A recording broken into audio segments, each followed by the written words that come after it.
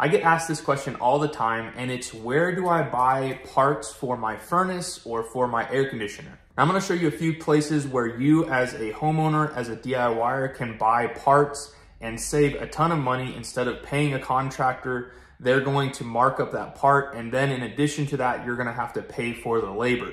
So there's a lot of savings that can be involved here. Now the first and primary source that I typically recommend is going to be repairclinic.com. So what you'll need to do is you'll need to get the serial number or the model number off of your piece of equipment. You punch in that serial number for that piece of equipment and it gives you a list of all of the common components for that piece of equipment. So if we were looking for say a replacement blower motor for our furnace, we would simply scroll down through here until we saw that component.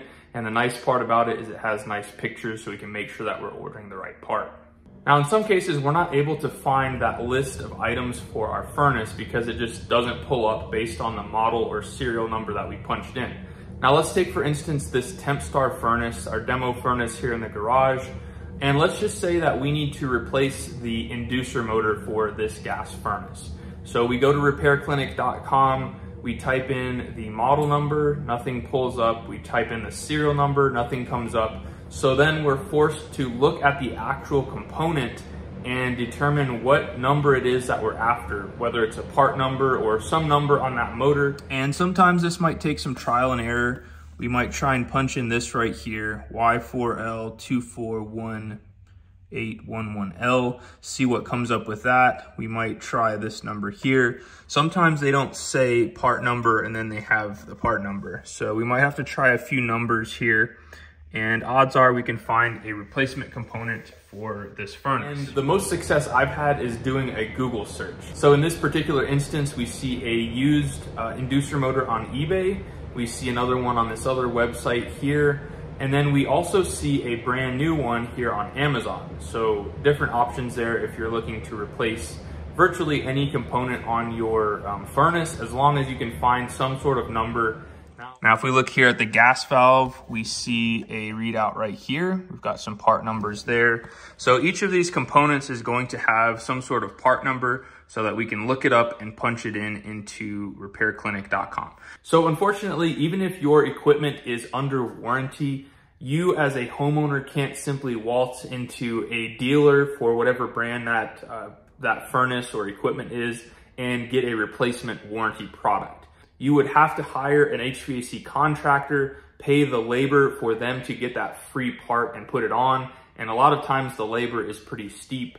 So unfortunately, that's not an option. However, you can still save a lot of money. Whether or not your equipment is under warranty, you can still save money.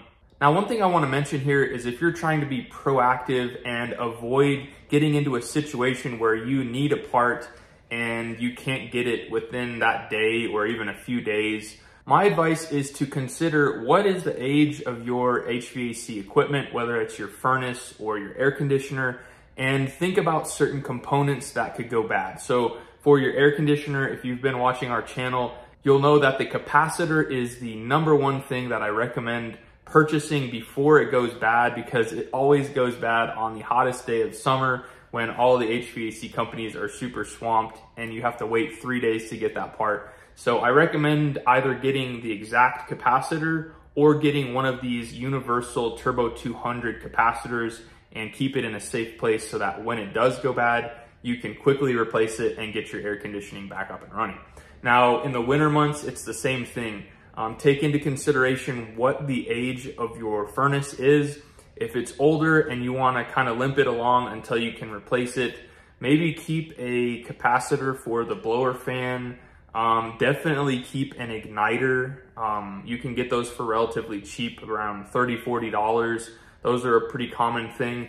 Even an inducer motor. You can typically get an inducer motor that's pretty cheap and just keep it in your garage or in a safe place so that in the event that it does happen, again, on the coldest day of the season or around the holidays, um, you will be able to fix that really easily and be in a better position than having to wait several days. So hopefully this has been informative for you as far as locating parts for your gas furnace or for your air conditioner. Hopefully it can help you to save a little bit of money in that regard. Now, if you're unsure and you wanna see if your equipment is under warranty, check out this video right here and we show you how to look up the warranty on any piece of equipment to see how long that is, if it's out of warranty or still in, and you can avoid getting taken advantage of by HVAC contractors. We'll see you on this next one and you guys be safe. Later.